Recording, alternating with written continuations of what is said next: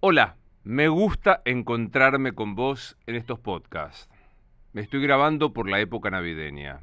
Por las dudas, estoy en el 2023.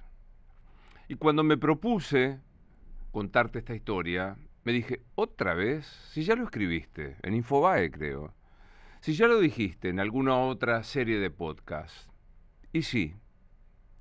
No solo por la convicción de que un podcast, lo siento, es como una botella tirada al mar, que en un momento de soledad o de compañía gozosa, un náufrago, alguien que perdió las ganas de escuchar, aparece por primera vez en el podcast.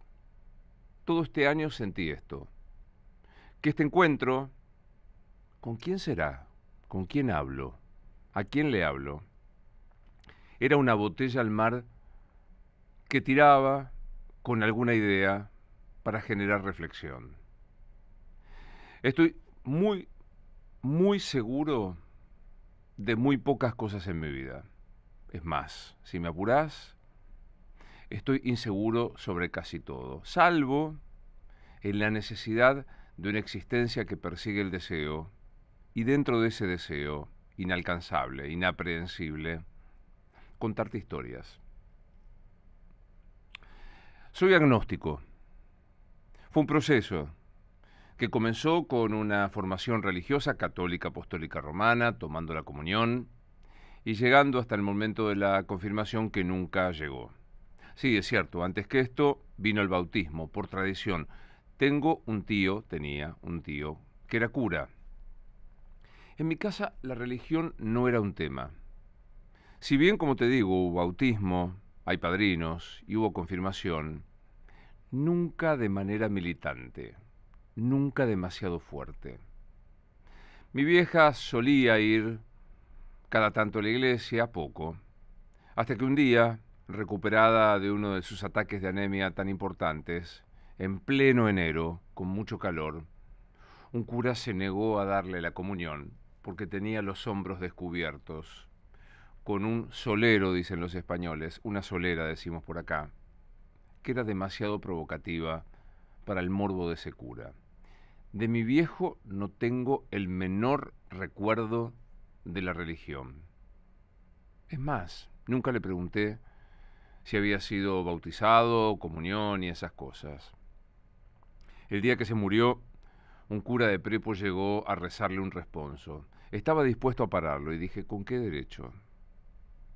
Este cura está haciendo lo mejor que cree que hay que hacer.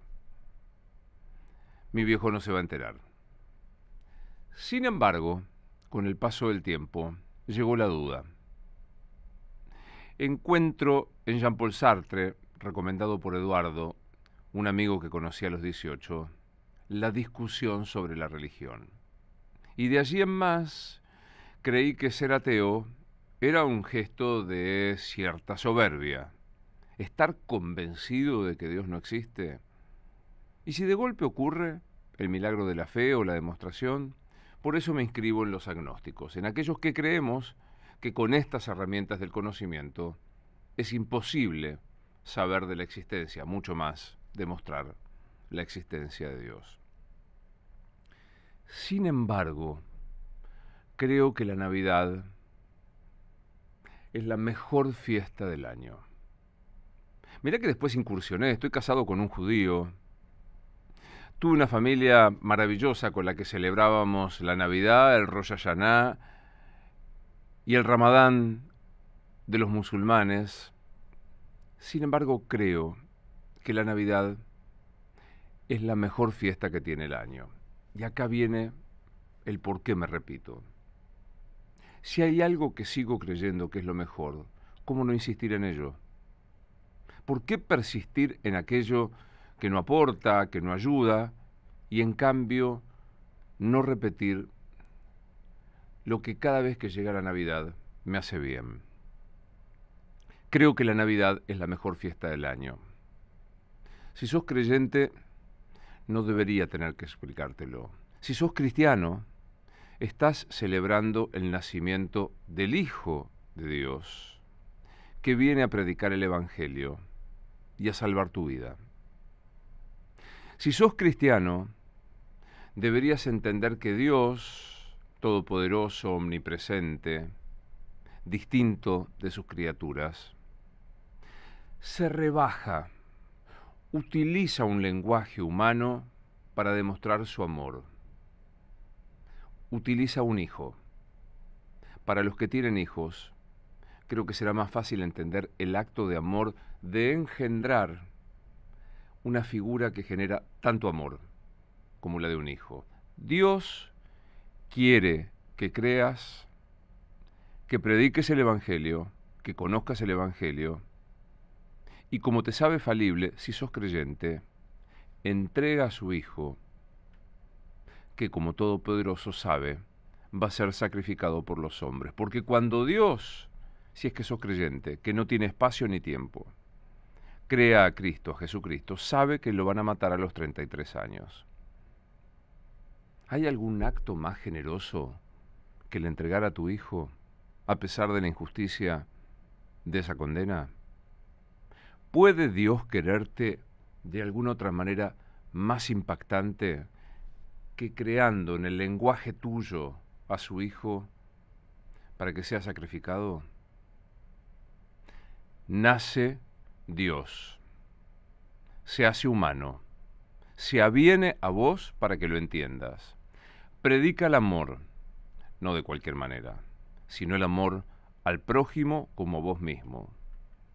Supone el perdón, el poner la otra mejilla, el prometerte una vida futura venturosa a pesar de los sinsabores de esta. ¿Hay algo más fuerte para celebrar? Sí, yo sé que la Pascua de Resurrección, sí, yo sé que la Virgen María, yo sé todo. Creo que para un creyente, para un cristiano, la Navidad es inempardable. No tiene de ninguna manera comparación.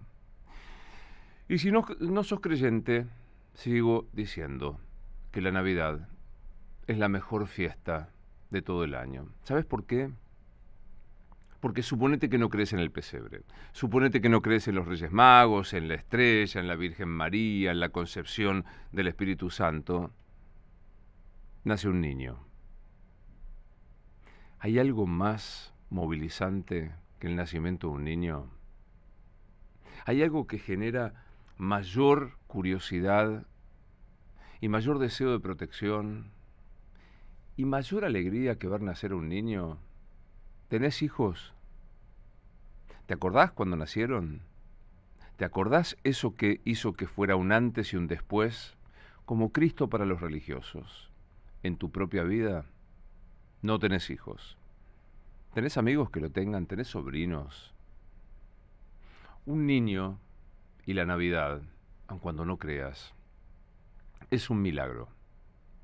He pasado muchas Navidades con niños, muchas sin, y volví a la posibilidad de ver a una criatura mirando al cielo para ver si los renos, si Papá Noel, si los juguetes.